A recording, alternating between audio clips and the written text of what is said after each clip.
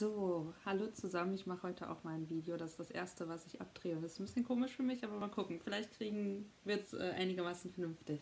Also ich wollte euch heute was über die Epoche der Romantik erzählen. Die geht von 1795 bis 1848. Und ich wollte euch dazu ein Kunstwerk zeigen und ein Gedicht, damit ihr das so ein bisschen einordnen könnt. Und ähm, also die Epoche der Romantik äh, verkörpert erstmal eine unstillbare Sehnsucht. Die Menschen gehen raus in die Natur, versuchen da Halt zu finden, irgendwie wieder zu sich selbst zurückzukehren und ähm, es ist immer so ein bisschen melancholisch und trotzdem, ja, also es wird erzählt von rauschenden Bächen und strömenden Gewässern und die ähm, Wortwahl ist immer sehr prachtvoll und ausgeschmückt. Und ich äh, lese euch einmal jetzt das Gedicht von Josef von Eichendorff vor. Ähm, das Gedicht nennt sich Mondnacht und ist von 1837. Also die Epoche der Romantik geht ja bis 1848 und da kann man schon gut einordnen, dass sich das also genau im, in dieser Epoche abspielt. Also Mondnacht, Josef von Eichendorff.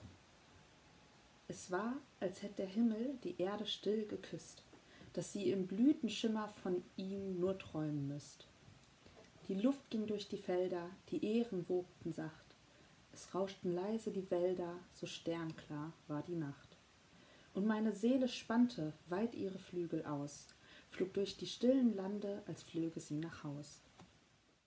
Was man auch hier wieder ganz gut merkt an diesem Gedicht ist, dass ähm, total romantisch ist. Die Erde, also es ist ja auch die Epoche der Romantik, aber die Erde wird still geküsst und man träumt und man rauscht, leist durch die Wälder. Also es ist ähm, total magisch, wirkt es irgendwie und, ähm, und mystisch und es holt einen total ab. Man kriegt total Lust, wandern zu gehen, sich selber in die Natur zu begeben und sich das anzugucken und einfach dahin zurückzukommen.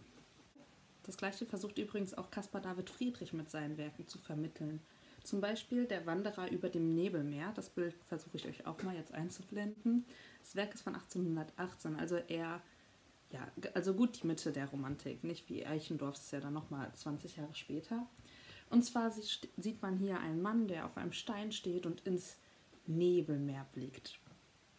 Und das ist ganz typisch für Caspar David Friedrich in seinen Werken sieht man äh, die Person von hinten, die in die Ferne guckt und es soll so dieses Gefühl in meinem Ausleben, dass man gerne an der Stelle des Betrachters, also des Betrachters der Landschaft ist, man ist ja immer der Betrachter, wenn man sich das Bild anguckt, ähm, aber man will an seiner Stelle stehen und sich auch diese Landschaft angucken und diesen Moment genießen und diese Sehnsucht fühlen, ähm, in dieser, auch in dieser Natur zu stehen und das so wahrzunehmen. Das will äh, Caspar David Friedrich auslösen, genauso wie Eichendorff, dass man wieder sich auf die Natur zurückbesinnt. Also, ähm, nochmal zusammengefasst, die Epoche der Romantik löst es also in uns Menschen aus, dass wir wieder diese Freiheit der Natur fühlen wollen, dass wir in den Urlaub fahren wollen, dass wir Wanderungen machen wollen und dass ähm, die Künstler dieses Gefühl selber ähm, uns vermitteln wollen, dass sie Heimweh haben und trotzdem Fernweh irgendwie sich so festgefahren fühlen und dadurch diese Wanderlust haben und aus ihrem Alltag quasi damit ausbrechen. So, das war schon meine kurze Einführung zur Epoche der Romantik.